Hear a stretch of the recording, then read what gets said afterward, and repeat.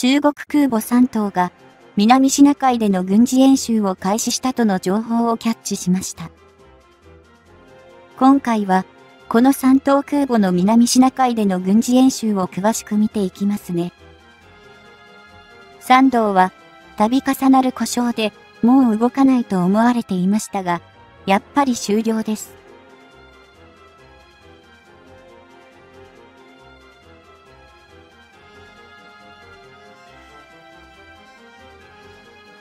中国海軍は、遼寧に次ぐ自軍で2番目、そして国産としては最初の航空母艦である3トンが南シナ海で軍事演習を行った際のものだとして、2022年8月24日に30秒ほどの短い映像を世界に向けて公開した。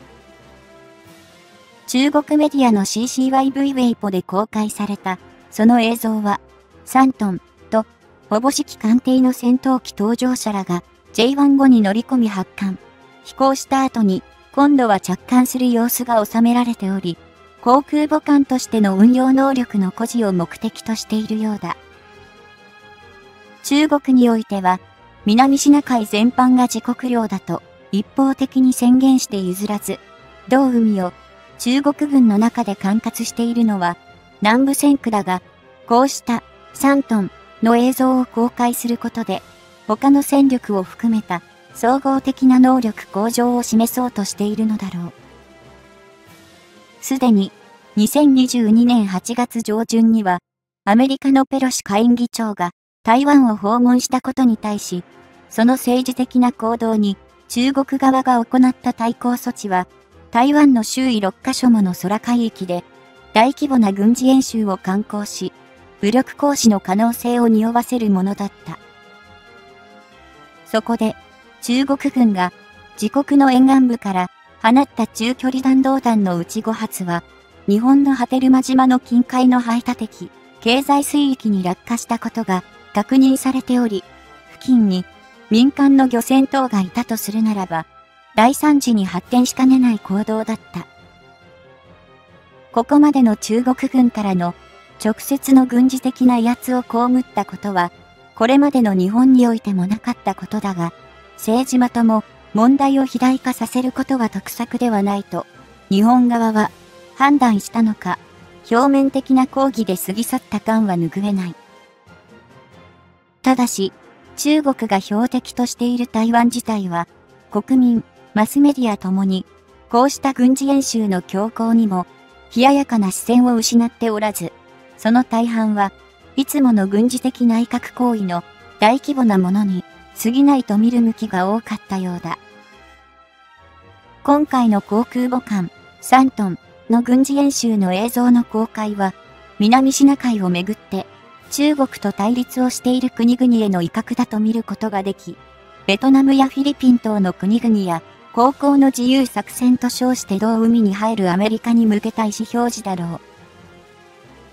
2022年は2月24日にロシアがウクライナ侵攻を開始し、軍の装備、量、質ともに当初優勢と考えられていたロシア軍が西側諸国の兵器支援を受けてウクライナ軍に苦戦しているという構図が様々な方法で伝えられている。このロシア軍の苦境を目の当たりにした中国は、実際の軍事行動を自らが起こした場合にも、旧ソ連や現ロシア由来の兵器を多数使用している自軍の現状では、同じような決め手を欠いた状態にある可能性を痛感しているはずだ。それゆえに、これまで以上に、実際の戦闘、戦争ではなく、全段階の武力威嚇によって、自国の主張を押し通すことの重要性を改めて認識しているために、今後も大規模な軍事演習等をこれらの地域で頻発させるのだと予期できる。さて、肝心の航空母艦3トン、だが、基準排水量5万5千トン、満載排水量7万トン、全長308.5メートル全幅38メートルの艦隊を持ち、蒸気タービン式の通常動力型の機関部を搭載、2019年12月に実戦配備が行われた艦艇である。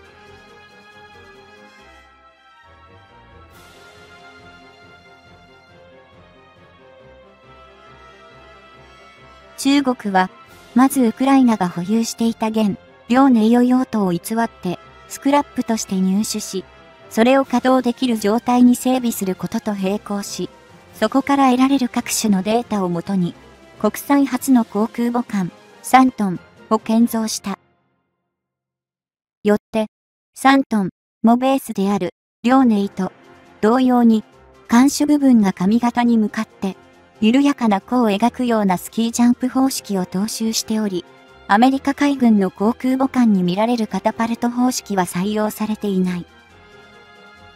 そもそも、カタパルト方式の航空母艦は、2022年の現在でも稼働、運用状態にあるのは、アメリカ海軍の11隻の大型原子力空母と、それ以外では、フランス海軍のシャルル・ド・ゴールただ一隻しか世界に存在していなかった。イギリスの最新鋭の航空母艦であるクイーン・エリザベス級は、当初はカタパルト方式の採用が見込まれていたが、艦載機となる予定であった F35 ライトニング2の C 型の開発遅延もあって、その実装を諦めたという経緯もある。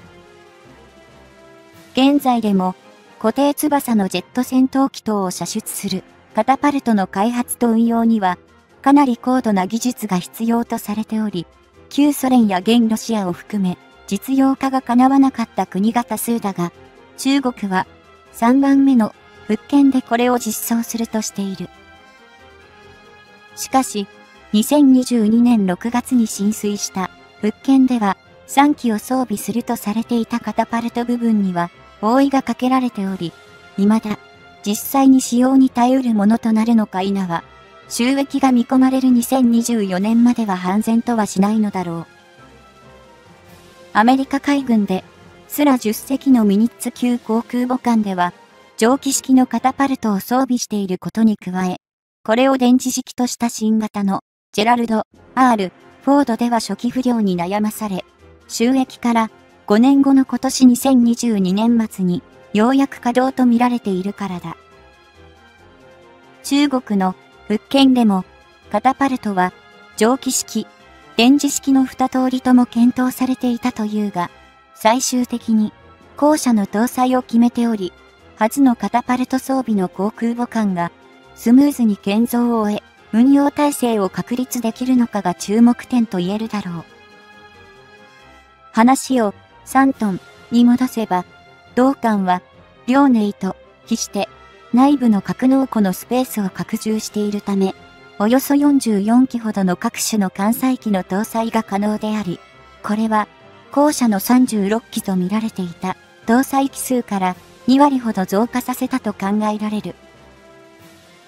両ネイは、大本は、旧ソ連が設計した艦艇だけあって、艦載機による航空戦力だけでなく、艦艇そのものにも攻撃力を付与する目的で艦対艦ミサイルを VLS 形式で搭載する設計であり、その分のスペースを3トンでは格納庫に割り当てた。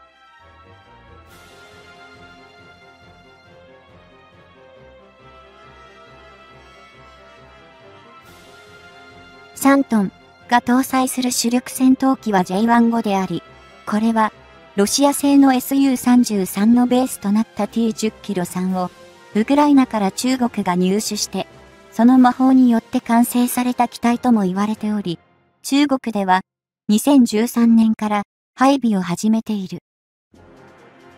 こうした経緯もあって、ロシア側は中国の J15 に対して自国の SU33 と同等な性能など望むべくもないと酷評していたが、今のロシア・ウクライナ戦争での苦境にあって、そうした面を一旦は伏せて、中国との連携を強化すると考えられる。中国では、この J15 を2013年から量産化を開始したと説明しているものの、この2022年時点でも生産数は60機弱ほどと見られており、この理由の一つには、国産化された機関部の信頼性が低いことが挙げられ、J20 と似た状況も想定される。3トンに限らず、この追艦ミサイルの射程や命中精度が著しく向上したとされる現代において、航空母艦のような巨大な艦艇は、使用可能な用途が限定され、ことに費用対効果には見合わない装備だと語られることも多い。そのような情勢下にあって、中国のメディアである百花号は、2021年11月の記事において、日本の軍事専門家が3トンを表して、この大きさの航空母艦を建造可能なのは、アメリカとイギリスと中国も2だとする言説を紹介している。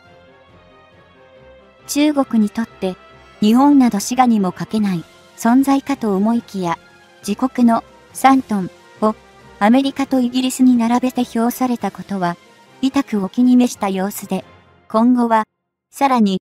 原子力を機関に据えた航空母艦も建造すると、声高らかに唱えている。